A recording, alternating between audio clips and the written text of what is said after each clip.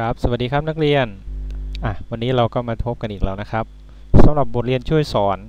วันนี้ครูขอนำเสนอในหัวข้อนะครับ การหารากที่ 2 ของจำนวนเต็มบวกนะครับ ซึ่งนักเรียนหลายคนอาจจะอาจจะเคยเห็นมาบ้างแล้วนะครับ หรือบางท่านบางคนอาจจะยังไม่เคยเห็นอะวันนี้เราจะมาเรียนรู้การหารากที่ 2 ของจำนวนเต็มบวกไปพร้อม ๆ กันนะครับ จริงๆแล้วการหารากที่ 2 ก็ไม่ใช่เรื่องยากนะครับอ่าเดี๋ยวนักเรียนมาดู ตัวอย่างเลยนะครับทำไปพร้อม ๆ กันด้วย สมมุติโจทย์บอกว่า จงหารากที่ 2 นะครับ ของ 256 นะครับ 256 นักเรียนจะต้องดูโจทย์นะครับว่าโจทย์ตัวเลขเรามีกี่ตัวนะครับ ตอนนี้โจทย์มีเลขเป็นเลข 3 หลักนะครับ เลข 3 หลัก ขั้นตอนที่ 1 เขาบอกว่าให้แบ่งเลขนะครับออกเป็นนะครับ จากขวามาซ้ายนะครับ จากขวามาซ้ายทีละ 2 หลัก โจทย์เราเป็น 2 5 6 ถ้าแบ่งขวามาซ้ายทีละ 2 หลัก ก็จะโดนแบ่งนะครับ ตัวเลขที่แบ่งให้เอามาใส่ในในช่องของเครื่องหมายหารนะครับ ก็จะโดนแบ่งเป็น 2 5 6 ใช่ไหมครับ 2 5 6 เอาละขวามาซ้ายทีละ 2 หลัก 2 5 6 นะครับ ก็เป็น 5 6 ชุดหนึ่งจากขวานะครับ แล้วก็วักอีกตัวหนึ่งเป็นเลข 2 อันนี้คือข้อที่ 1 นะครับ ข้อที่ 2 ข้อที่ 2 ให้ไปดูเลขชุด นะครับให้ไปเลขดูเลขตัวที่อยู่ซ้ายสุดนะครับ หลังจากการแบ่งแล้ว ตอนนี้ซ้ายสุดเราคือเลข2นะครับ ตัวนี้แหละตัวสำคัญในขั้นตอนแรก เราจะต้องหาตัวเลขที่ยกกำลังสองแล้วได้ใกล้เคียงหรือเท่ากับตัวเลขตัวนี้มานะครับ ตอนนี้คือเลข 2 ตัวไหนที่ยกกำลังสองแล้วได้เท่ากับ 2 มีไหมจำนวนเต็มมีไหมครับอ่าถ้าไม่มีก็ใกล้เคียง ใกล้เคียงอะไรเอ่ยยกกำลังสองแล้วใกล้เคียง นะครับได้ 2 นั่นก็คือ 1 ยกกำลังสองแล้วได้1นะครับวันเราได้เลข 1 มาเลข 1 จะเป็นตัวหารนะครับ ก็เหมือนเดิมก็จะเป็นในลักษณะของการหารครับ 1 ตัวหารเป็น 1 ผลลัพธ์ก็เป็น1นะครับ1คูณ1 1คูณ1นะครับ ผลลัพธ์ที่ได้เป็น 1 เราก็ลบนะครับลบกันลงมานะครับลบมา 2 ลบ 1 ได้ 1 นะครับ ทีนี้ข้อ ข้อแตกต่างของการหารากที่ 2 ก็คือ หลังจากที่ลบเสร็จแล้วการดึงตัวเลขที่อยู่ด้านบนนะครับ ชักลงมาเนี่ยเราจะลงได้ทีละ 2 ตำแหน่งนะครับ ลงได้ทีละ 2 ตำแหน่ง เพราะฉะนั้นเวลาลงมา 5 6 ก็จะลงมาด้วยนะครับ 5 6 ลงมาด้วย ถามว่าในขั้นตอนนี้จำเป็นจะต้องวักอีกไหมจะต้องเว้นวักอีกไหมเอ๋อไม่ต้องแล้วนะครับ ให้เรานุโลมว่าอ่ามันเป็นเลขต่อกัน โอเค ขั้นตอนที่ 2 เสร็จแล้วนะครับ หาตัวที่ยกกำลังสองแล้วใกล้เคียงตัวเลขชุดแรกแล้วได้ผลลัพธ์เท่าไหร่มาใส่ลบกันลงมา ชักลงมาได้ทีละ2ตำแหน่งลำดับถัดไปผลลัพธ์ที่ได้ในขั้นตอนที่ 2 นั้นนะครับ คือเลข1ใช่ไหมครับผลลัพธ์ที่ได้ให้คูณด้วย 2 เสมอนะครับ ผลลัพธ์ที่ได้ให้คูณเลข2เสมอ 1 คูณกับ 2 แล้วเอามาลงไว้ตรงนี้นะครับ1คูณ2ได้เท่าไหร่ครับได้ 2 ได้2นะครับถามว่า เอา 2 ไปหาร 156 หรือเปล่า อ่ายังครับ ให้เราคิดว่ามีเลขตัวหนึ่งที่อยู่หลังเลข 2 นะครับ มีเลขตัวหนึ่งที่อยู่หลังเลข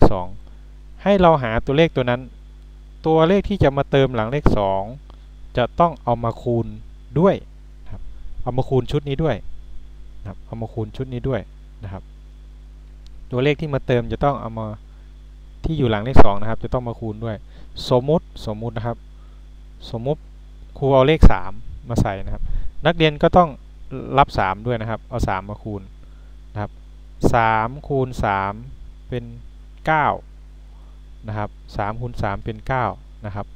อันนี้ขอพิมพ์ถอยหลังนะครับ 3 2 เป็น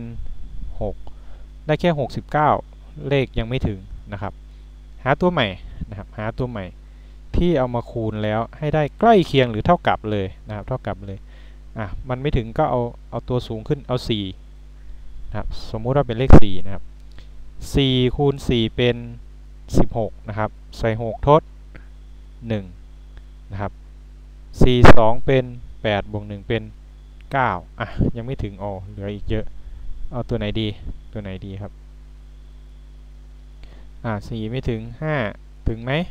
ลองดูครับ 5 5 5 25 ใส่5ทด 2 5 2 เป็น 10 เป็น 12 ยังไม่ถึง อะ ต่อครับ ก็ไล่ไปเรื่อยๆนะครับกะประมาณดู อะ รับ 6 ได้ไหม6คูณ6เป็น 36 ใส่ 6 ทด 3 6 2 12 บวก 3 เป็น 15 อ้าว โอเคครับ ลงตัวพอดี ลบกันเหลือ 0 นะครับ ลบกันเหลือ 0 เมื่อคำตอบลงตัวงี้ นั่นคือ การหารากที่2นะครับรากที่ 2 ของ 256นะครับก็คือ 16 นั่นเองนะครับ แต่นักเรียนจะต้องทำการตรวจสอบผลลัพธ์ที่ได้ด้วยนะครับ ว่าถูกไหมอลองคูณดูนะครับ ถ้าเราได้แล้วนะครับคำตอบที่ได้เราก็ตอบเลยนะครับ ก็รากที่2นะครับของ 256 คือ รากที่ 2 มี 2 ค่านะครับ ค่าที่เป็นบวกและค่าที่เป็นลบนะครับ ต้องดูที่โจทย์ถามด้วยว่าโจทย์ถามอะไร ถ้าไม่ไม่ถามเราก็ตอบทั้ง 2 ค่าเลยนะครับ รากที่ 2 ของ 256 คือ 16 และลบ 16 นั่นเองครับ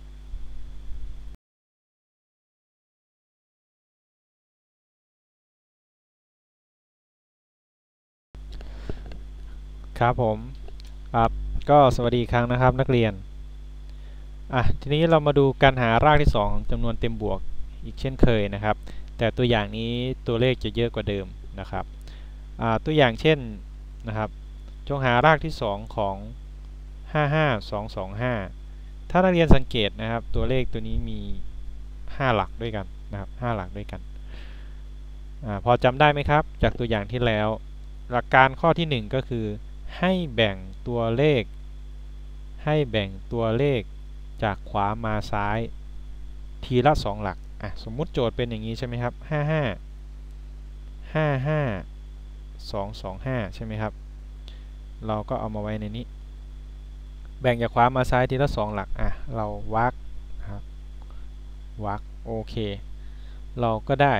5 ตัวหนึ่ง52 อีกชุดหนึ่งแล้วก็ 25 ชุดหนึ่ง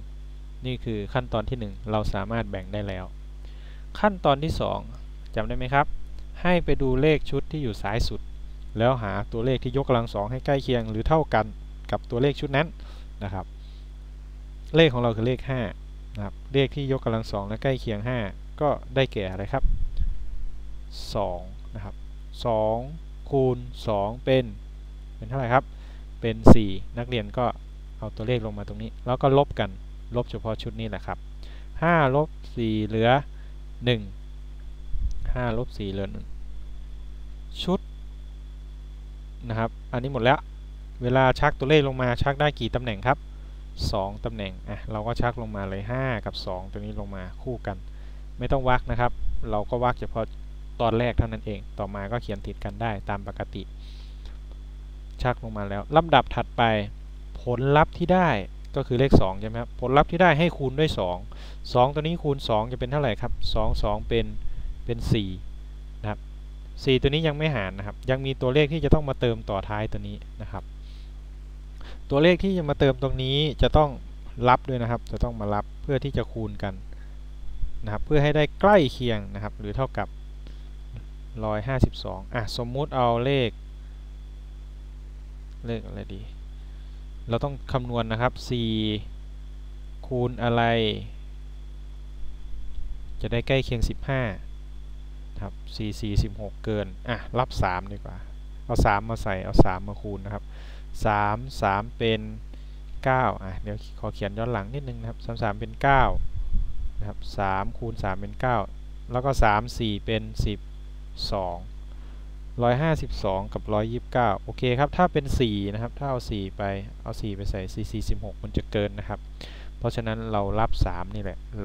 129 ลบกันครับ ลบกัน 2ลบ9ครับ 12ลบ9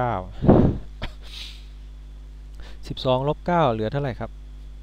12ลบ9เหลือ 3 นะครับ 5โดนยืมเหลือ 4 4ลบ2เหลือ 2 1ลบ หมดไปนะครับ หมดแล้ว อะ ถัดไป ลบกันเรียบร้อย ตัวเลขข้างบนก็ชักลงมานะครับ 2 ตัวนี้ก็จะชักลงมาอยู่นี่ด้วยกันกลายเป็น 2 5 2 3 2 5 เราจะทำซ้ำหลักการต่อไป ผลลัพธ์ที่ได้ให้คูณด้วย2ครับผลลัพธ์ที่ได้ให้คูณด้วย 2 23คูณ2เป็น 46 นะครับ เป็น 46 อย่าลืมนะครับตัวเลขตัวเลขตัวนี้ก็รอนะครับ รอมาเติม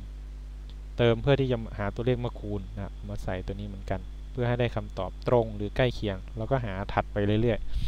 ๆอะเราลองมาดูสิครับว่าจะใช้ตัวเลขตัวไหน ก็สังเกตอีกนะครับสังเกตอีกเช่นเคยนะครับ 4 กับ 23 นะครับ 4 5 20 4 6 24 ถ้ารับ 6 น่าจะเกินนะครับรับ 6 เกินนะครับรับ 4 4 4 16 ก็น้อยไปอะลองรับ 5 ดูนะครับลองรับ 5 ใส่ 5 ด้วยไปครับ 5 ที่ใส่จะต้องคูณกันนะครับ 5 5 เป็น 5 5 25ขอเขียนถอยหลังนิดนึงนะห้าห้ายี่ห้าใส่ห้าทดสองห้าหกสามสิบใส่สองทดสามห้าสี่ยี่สิบบวกสามเป็นยี่สิบสามโอเค ได้คำตอบตรงกันครับ เรารับห้าเข้าไปอะลบกันก็ได้ศูนย์ตามปกติเนี่ยใส่เข้าไป อย่าลืมนักเรียนอย่าลืมนะครับผลลัพธ์ที่ได้นี้อย่าลืมนักเรียนต้องเอา 2 3 5 ไปคูณ 2 3 5 อีกครั้งหนึ่งตรวจสอบดูว่าคำตอบได้เท่ากับ 55 225ไหมนะครับถ้าได้ก็นั่นคือคำตอบที่ถูกต้อง แต่ถ้าหลักการที่เราไล่มาตามนี้โอเคถูกต้องนะครับ เลขลงตัวคำตอบน่าจะถูกงั้นเราก็ตอบนะครับ ข้อนี้อ่ารากที่ 2 ของ 55225นะครับคือ 235 อย่าลืมคำตอบที่ติดลบด้วยนะครับ2ลบ235 ด้วย เพราะว่าคำตอบมีทั้งค่าบวกและค่าลบนะครับ นักเรียน โอเคครับ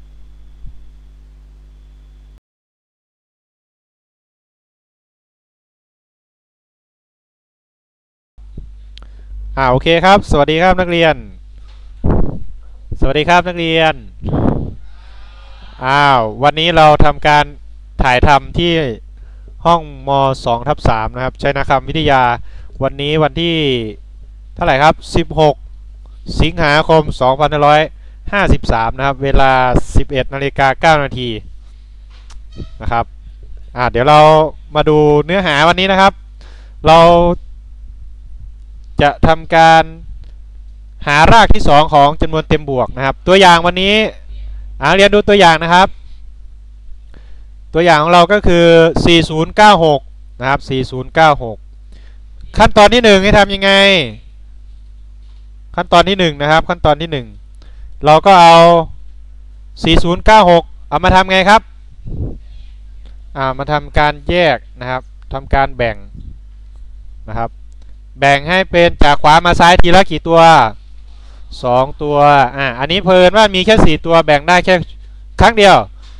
ต่อไปให้เราพิจารณาที่ 40 ใช่ไหมครับ 40 หาตัวที่ยกกำลังสองแล้วใกล้เคียง 40 หรือว่าคูณกับตัวมันเองได้ 40 เลย หรือว่าใกล้เคียงมีไหมครับ เอาตัวไหนดี 6 6 เอา 7 ได้ไหมเอา 7 มันได้เท่าไหร่ ถ้าเอา 7 ได้เท่าไหร่ครับ 7คูณ7เป็น 49 มันเกินเพราะเรา6 6คูณ6ได้อะไรครับ 6 6 เป็น 36อ่าลบกันได้เท่าไหร่ครับ ลบกันได้ 4 แล้วทำไงต่อ ชักลงมาเอา 96 ชักลงมานะครับ 96 96 ชักลงมาเรียบร้อยทำไงต่อครับตรงนี้เอามาจากไหน เอาหกคูณกับอะไรครับหกคูณกับ คูณกับสองได้เท่าไหร่ครับ